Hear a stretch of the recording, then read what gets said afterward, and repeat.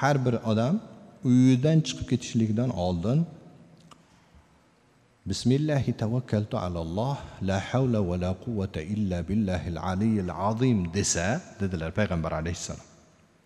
Unga aytiladiki senga kifoya qilindi sen himoyaga o'tding sen muvaffaqiyatga erishding deb aytiladi deganlar.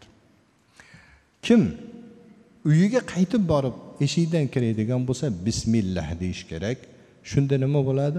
Odamlarning ortidan ergashib borgan daydi jinlar bo'ladi. O'shalar tashqarida qolib ketadi eshikdan kira olmaydi. Eshikni qulflaganlaringda bismillah deb qulflanglar. Shayton bismillah deb qulflangan eshikni ocholmaydi deganlar rasululloh sollallohu alayhi vasallam. Buxoriyda kelgan bu hadis ham. Biz o'zimizni himoyalash uchun mana shu nabaviy ta'limotga amal qilishimiz kerak azizlar.